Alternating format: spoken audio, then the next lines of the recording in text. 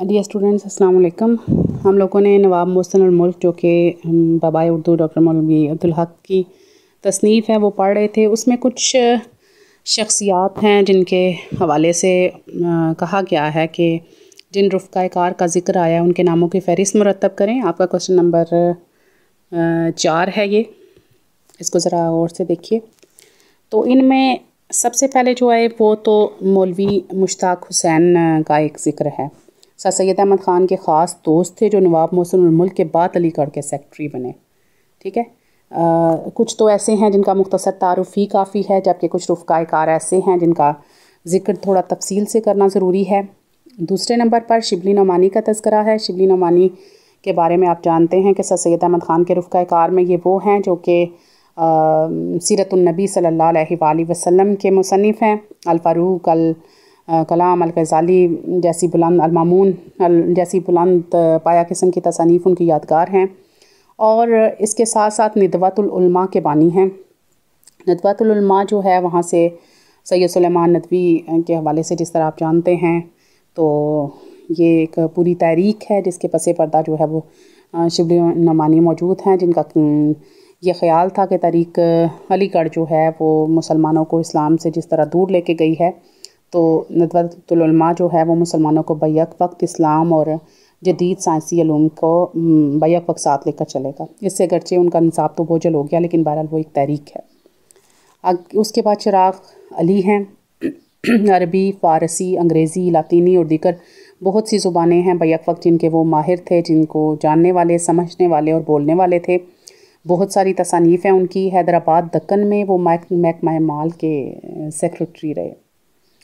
उसके बाद नज़ीर अहमद, उर्दू के हवाले से और अदब के हवाले से जो शख्सियात हैं, उनका ज़िक्र हम नस्बता तफसील से करेंगे। मौलवी नज़ीर अहमद को उर्दू के पहले बाकायदा नावल नगार का दर्जा मिलता है और मिरातुलरूस जो उन्होंने गच्चे अपनी बेटियों के लिए लिखी थी, उसको उर्दू का पहला बाकायदा नावल कहा जाता है। तो उनकी, उन्होंने अपनी तहरीरों से माशरती जो है वो असलाह का काम लिया। सर सैद के बहुत करीबी रुफ़ा में से थे और कुरान पाक का तर्जुमा भी उन्होंने किया। बहुत सी तसानीफ़ हैं, उनकी तोबातुलनसू इब्न वक्त वगैरह, ये ऐसे नावल हैं जो उनके बहुत ज़्यादा पढ़े जाते हैं।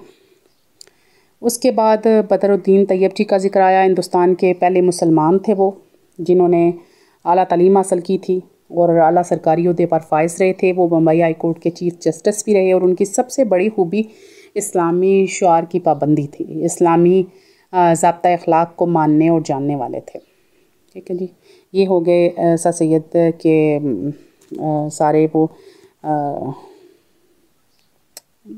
खसूसी किस्म के रुफ़ा कार जिनका तस्करा उनके आपके सबक में आया था।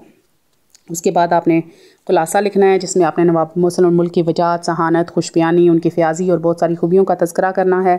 ये ख़ताब उनके लिए बहुत ज़्यादा मौजू हुआ वो दुश्मन पर भी एहसान करने वाले थे लोग हमेशा उनके मतकद रहे अगरचे वो जो उनकी लियाकत और जहानत थी, उसके सिर्फ़ अपने गर्विदा नहीं थे, बल्कि दूसरे लोग भी उसका एतराफ़ करते थे, जो आपके सियासी मुखालफी थे। किसी मसलहत की वजह से अगर किसी शख्स को सियासी तौर पर उसमें से पार्टी में से बाहर निकालने का नागवार और दिलचिकर काम करना भी पड़ता तो वो लोग भी आपके शुक्रगुजार रहते, क्योंकि आप कभी किसी की दिल आज़ारी नहीं होने देते थे। लोगों से काम लेने का ढंग आता था। आपकी तहरीरों में अदबी चाशनी है, अदबी खूबसूरती है।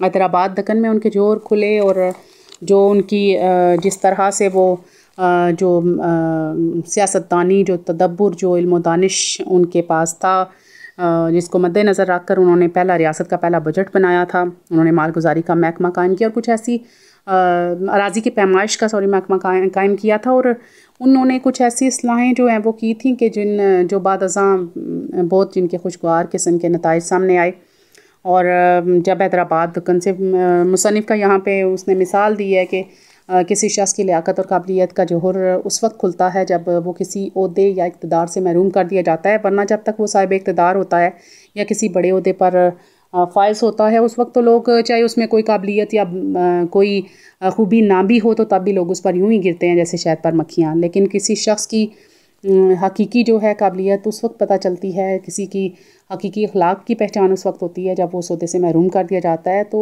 मोहसिन और मुल्क को जब उस सौदे से हटाया गया तो हैदराबाद दक्कन के स्टेशन पर लोग हज़ारा की तादाद में स्टेशन के बाद जमा हो गए और ज़ारो कतार रो रहे थे। इसके बाद उन्होंने उनकी तसानीफ़ के हवाले से बात की गई है कि अगरचे अदबी चाशनी उस तरह से बहुत बड़ी अदबी नहीं कह सकते, लेकिन अदबियत की शान बहरहाल और जो फसात और बलागत है, जो एक रवानी है, तसलसल है पाओ है और अदबियत की शान है, वो सारी उनकी तहरीरों में पाई जाती है। उनकी तहरीरों में अगरचे सिर्फ़ एक तहरीर है, जो खालस्तन मजहबी है, उसके अलावा बाकी माशरती हैं, इलमी हैं, इसलाही हैं, लेकिन ये सारी की सारी भी ऐसी हैं, जो किसी न किसी हवाले से इस्लाम के साथ मुंसलिक हैं। और उनके मुँह से बातें करते हुए जो फूल झड़ते हैं, जो शरीनी और उसमें दिलकशी है, लबो लहजे की, उसके हवाले से मुसनफ़ का कहना है कि बदरुद्दीन तैयब जी, जो कि सैद और अलीगढ़ कॉलेज के बहुत बड़े मुखालिफ थे, उनके पास पहुँच कर ऐसी पुरदर्द और फसी और बली किस्म की तकरीर की कि वो भी आप दीदा हो गए, उनकी आँखों में आँसू आ गए और अलीगढ़ के लिए उन्होंने उन्होंने खासी बड़ी रकम की सूरत में चंदा दिया। तो इस हवाले से वो कहते हैं कि जब भी कोई भी मामला बिगड़ने लगता, अगर कहीं पर फसाद का डर पैदा होता तो वहाँ पर मौसम मुल्क साहब को आगे कर दिया जाता। मताल का ख़ास शौक़ रखते थे, और ख़ास तौर पर जब उर्दू की मुखालफत का आगाज़ हुआ तो उस वक्त उन्होंने जलसे में इस कदर खूबसूरती के साथ तकरीर की कि लोग जो है वो, उन्होंने बहुत उसकी दाद दी खुलकर, और लोगों में जोश की लहर फैल गई। और यहाँ पर अख्ताम किया मौलवी अब्दुल हक ने कि सर सैद ने जिस काम की बुनियाद रखी थी, उस काम को नवाब मुसलम मुल्क ने इस तरह से आगे बढ़ाया कि कोई और उनकी यादगार चाहे किसी मुजस्मे की शक्ल में बनाए या ना बनाए, उनका काम ही उनकी सबसे बड़ी यादगार है। Thank you